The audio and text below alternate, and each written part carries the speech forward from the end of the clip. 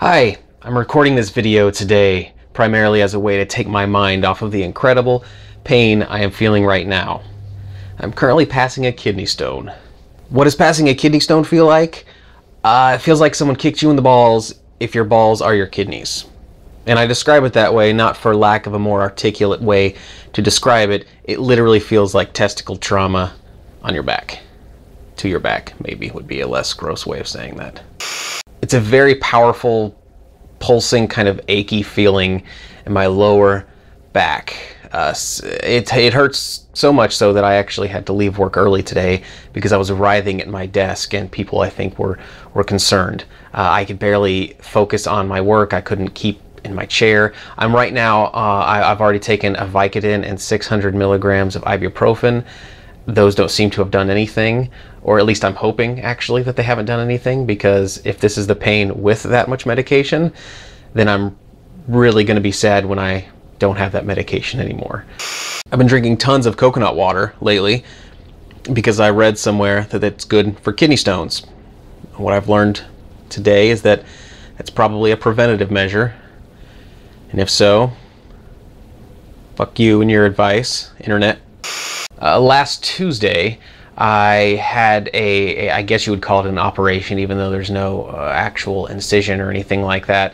Um, it's called a litho, which is short for something, I don't know. But it's basically they take a crazy futuristic space laser and they vibrate your kidney, um, I think vibrate or send some sort of sonar waves or I don't know what it is, uh, into your kidney to destroy the kidney stone, break it down so that you can pass it by peeing it out. Either that didn't work or I started with a kidney stone the size of a golf ball and I'm now passing uh, blueberry sized. I, am guessing it worked and I'm passing smaller than blueberry sized kidney stones right now, but even those maybe are, are pretty big.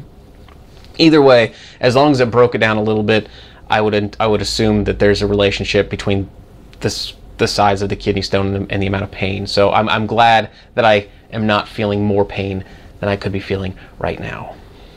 People say that passing a kidney stone is equal in pain to childbirth, and I would uh, probably disagree with that because I am um, conscious right now, and I've seen women go through childbirth, and uh, that's not a pain I want to feel. So I'm not going to say that. However, I will say that this is probably the worst pain I've, I've ever felt. Um, I think so because it's not a, it's not, it's not just sort of a sharp pain and then it's done kind of thing. It's, it's so ongoing and, and, and sort of, it's like, it feels like a thud. Like it's not like a sharp pain.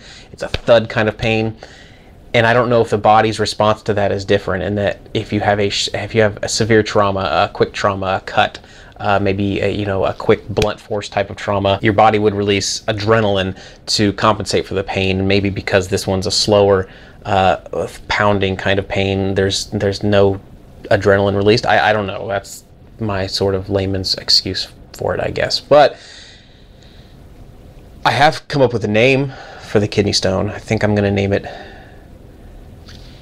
fucking, uh, I can't even think straight.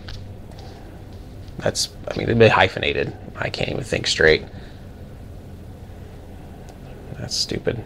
So, has this video helped deter my attention from the pain? Well, not really, since I'm talking exactly about the pain. Uh, though surprisingly, I guess I haven't really thought too much about the, the, I haven't really kind of felt the pain during this video because maybe just because I am talking. I'm out loud, doesn't matter what I'm talking about, but I'm talking about something and thinking about something, and that does seem to help. So uh, I hope that none of you out there get kidney stones. Um, I'm told that one of the primary reasons people get kidney stones is simply just lack of, of fluids, lack of water. Uh, they don't drink nearly enough water, and that's definitely I'm sure that's my case here. I, I, definitely don't drink nearly as much water as I could. Although some of the other factors, um, calcium buildup, too much salt in the diet, those kinds of things, probably not me. Uh, I don't. I don't think I eat that much salt. I don't really eat that much fast food, and I know there's a lot of salt in fast food. Um, I'm trying to think of other foods that I eat that would have a lot of salt, but they don't. Maybe there's just more salt than I realize in food. I don't know. Anyway, I hope uh, I hope you've laughed appropriately at my pain, because that's what I'm here for, to make you laugh, right?